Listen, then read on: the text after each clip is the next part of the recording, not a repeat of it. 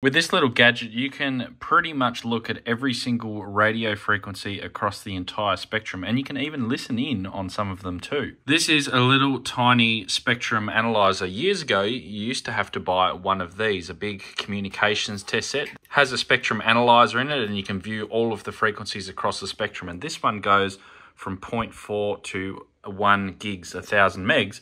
Whereas this little thing, it's a fraction of the price and it goes all the way up to 5.3 gigs down to 100 kilohertz. So almost the entire radio spectrum that's got stuff to listen to, which is really cool. Now, it goes without saying that this thing can do quite a few more things that this little thing can't. You could still do some basic measurements, like you could do RF output power levels. You can see there that I'm receiving that FM radio station at about minus 75 with just this little whip. Move that around, it sort of varies up and down here a little bit.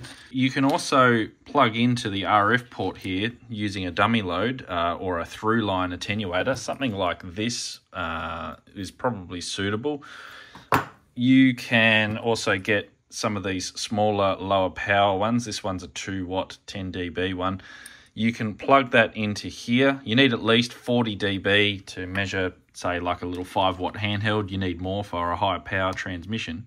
But you can go into here into level, external gain, and you can adjust the gain that's going in here so that you don't blow the front end of this thing up. So you can do basic power measurements and all sorts of things. It's, you know, pretty pretty versatile little thing for what it is. Now I've got the Tiny SA Ultra. This is the wideband version with the higher frequency range that I showed earlier. But the other thing that you can do with these Tiny SAs too is find a frequency. So I've tuned in there on this, my local FM radio station on 100.9. It's slightly off, but anyway, it's close enough.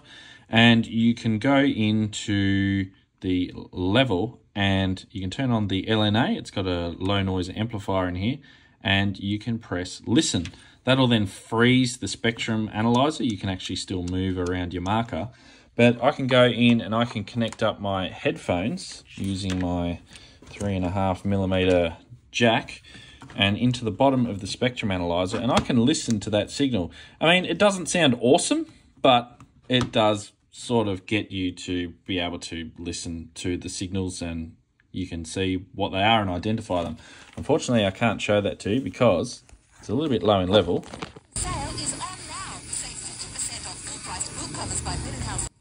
As you can see, I don't have a external speaker to plug this into, but you could plug it into a, like a little speaker and listen, which is pretty cool. So you can demodulate the signal. I plugged it up now to my external antenna and you can also turn on a waterfall for going to display and waterfall. Over time, it'll show you what the signal looks like through this bottom waterfall here, which is another cool little feature. So you can actually see little blips of signals that come up. So if we go to, say, a wider frequency range here of 100 and let's say 140 megahertz to 100 and say 70 megahertz, we might see some signals that appear on the screen and they're not always there. So here's a couple that are a little bit weaker, but there's one there that appeared for a second and then it disappeared. So that's probably some sort of like data radio, I reckon, or something that's just transmitting intermittently every now and then. So it looks like that frequency I was looking at is 160 megahertz. I think that that is a government radio network transmitter that's a P25 transmitter that runs all the time. Here's another one at 166. If I go up here, this should be around 170 megahertz. Yeah, 170 megs, so that is definitely the television. There's there's a frequency that's just popped up down there. What's that? That's popped up out of nowhere. Ah, pager. That looks like a pager. Look at that. That's our that's our repeater on 146.7 megahertz. I bet you if I plug this in to my radio, I reckon it's transmitting, the repeater's going at the moment. And there you go, it is transmitting. Now this screen is pretty small, but this thing you can also connect it to the computer. So this is the software Tiny SA dash app and this is free. You can download it, connect up your Tiny SA using the USB-C cable and you get a larger screen and this marker to play around with. So let's start off at 140 megahertz and we'll go up to 170 megahertz. Let's have a look here. Now you can do lots of points per scan. I'm going to start at 1000 and you can do a single scan. So you just click that and boom, we've got now our scan. It looks like there's our pager that we saw earlier. And you can see here, here's another frequency that's up at 162. I think that's our government radio network. If I click the continuous scan, this will just continuously scan that and we can see sort of the move up and down. There's that signal moving up and down. Here's some more here. Uh, there's a couple there. There's another spike, which is interesting. So there's all sorts of real cool stuff that you can do in here. You can also average this out over time. So rather than the signal sort of, if it comes up, it doesn't disappear straight away. There's one there that's just come up. That'll slowly disappear now over time. What have I got it set at? Filter average of 16. So that'll, there we go. That's starting to disappear now, which is that, I think that pager frequency. Here's another one, 150 megs. There's a couple more up here. Let's move to UHF and have a look. So 400 to 500 megs, sender frequency of 450. I've still got that averaging turned on. And there's all sorts of stuff around here. Like, look at this. And I can see these little blips coming up here. There's 471 megs. There's another one, 493. I have no idea what that is. Uh, here's a couple more. These are UHF CB. I could see here's one coming up quite strong or strongish there. Um, so yeah, you can kind of like go around here and have a look at all the different frequencies that are popping up out of nowhere. Some of these I don't really even know what they might be, but you can look them up later on, or you can listen in on another radio, like a scanner or something, and try and figure out what they are. Minimum or max hold. So if we go max hold there, that'll put this marker here on the highest level frequency. So we've got one here at 424 megs, um, and you can see here that it's even all these other ones are starting now to pop up just out of nowhere. So these are kind of like all the signals that it's detecting and it's holding their maximum level that it's being received at. I've only had this running for a couple of seconds, but look at all these UHF frequencies. They're everywhere.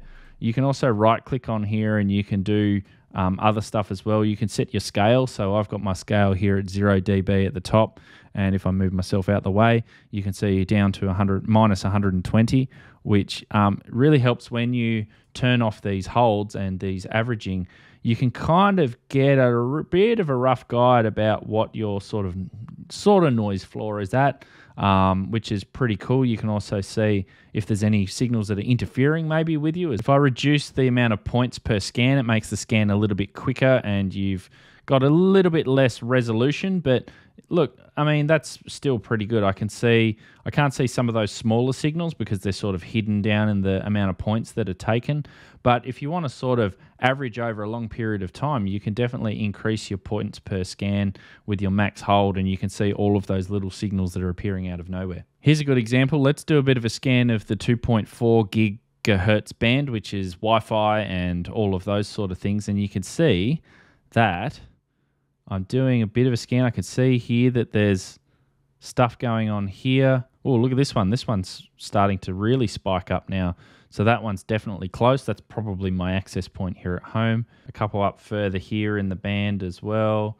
So you can kind of use this to try and find if the you know frequencies are noisy around you, if there's any channels that are in use, and here's a good example of two signals that are zoomed right up. These are two FM broadcast signals, and you can see the modulation here because of the not sort of clear, straight carriers because they're being modulated with audio at the moment. But there's one radio station on 100.9 megahertz and another one here on 101.7.